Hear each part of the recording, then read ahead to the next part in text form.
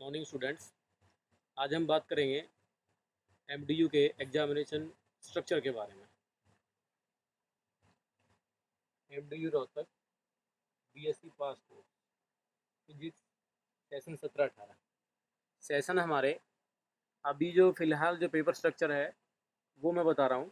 Next session में chances तो नहीं है चेंज हो जाएगा, लेकिन फिर भी चेंज हो जाता है तो वो हम नेक्स्ट वीडियोस में या नेक्स्ट अपना सब सब्सक्रिप्शन बॉक्स में या कमेंट करके हम आपको बता देंगे बात। हमारे यहाँ पर ओवरऑल जो कंप्लीट फिजिक्स का स्ट्रक्चर है, उसको हमने चार पेपरों में बांटा हुआ है। दो थ्योरी पेपर हैं, एक प्रैक्टिकल है और एक इंटरनल असेसमेंट है। Theory paper one theory paper two practical paper three and internal assessment maximum marks minimum marks अब मैं ये टेबल कंप्लीट कर देता हूँ। थ्योरी पेपर फ़िलहाल हमारा theory paper forty five marks का होता है। फ़र्स्ट पेपर भी और सेकंड पेपर भी। दोनों paper forty five forty five marks के होते हैं। प्रैक्टिकल हमारा फोर्टी मार्क्स का होता है। प्लस जो इंटरनल असेसमेंट है, वो ट्वेंटी मार्क्स का। ये मैक्सिमम मार्क्स हैं। इनमें मिनिमम हमें कितने मार्क्स लेने हैं, जिससे कि हम हम पास हो जाएँ। उसके लिए थ्योरी में, फ़िलहाल इंडिविजुअल थ्योरी में पास होना ज़रूरी नहीं है। दोनों पेपरों में मिला के पास होना है। दोनों forty five forty five ninety marks का होगा। नाइन्टी का फोर्टी परसेंट मार्क्स लेने हैं हमें पास होने के लिए। फोर्टी फाइव हो गया इसका। थर्टी सिक्स मार्क्स यानी थ्योरी में पास होने के लिए छत्तीस नंबर चाहिए हमें। Thirty six marks practical forty marks का है। इसका फोर्टी परसेंट चाहिए हमें। सिक्सटीन मार्क्स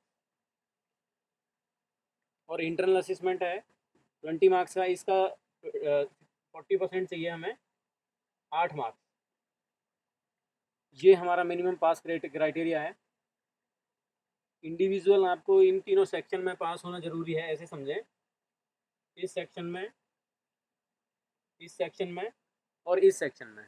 यानी इन तीनों सेक्शंस में अलग अलग पास होना ज़रूरी है। अदरवाइज़ आप किसी भी एक में रिपीट आती है। तो ये ज़रूरी नहीं है कि आपको तीनों सेक्शन देने पड़ेंगे। सपोज़ किसी बच्चे की थ्योरी में रिपीट है। थ्योरी में थर्टी सिक्स से कम थर्टी फाइव मार्क्स हैं। लेकिन यहाँ आपके सोलह से ज़्यादा हैं, यहाँ आपके आठ से ज़्यादा हैं तो आपको ये थ्योरी पेपर ही देना है दोबारा। ना तो इंटरनल असेसमेंट के और रिपीट करना है, ना ही प्रैक्टिकल एग्जामिनेशन रिपीट होगा। और अगर आपका थ्योरी में थर्टी सिक्स प्लस मार्क्स हैं या थर्टी सिक्स मार्क्स हैं और प्रैक्टिकल में सोलह से कम दिए हैं या एबसेंट दिया है तो प्रैक्टिकल का प्रोसीजर क्या है कि आपको दोबारा जब प्रैक्टिकल का रीअपियर भरना है और दूसरे कॉलेज में या अपने ही कॉलेज में जब प्रैक्टिकल होगा, तब उस टाइम इसका रीअपियर का प्रैक्टिकल एग्ज़ाम देना पड़ेगा। इधर इंटरनल असेसमेंट जो कॉलेज से लगा के जाते हैं, यानी जो प्रोफेसर्स आपको क्लास ले रहे हैं कॉलेज में, वो आपके मार्क्स लगा के भेजते हैं।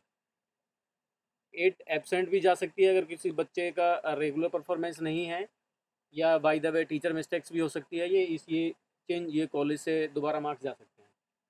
इसमें आठ से ऊपर है, कोई प्रॉब्लम नहीं है। अगर इसमें आठ से ज़्यादा है तो ये ये मार्क्स भी दोबारा से इम्प्रूव हो जाते हैं। Thank you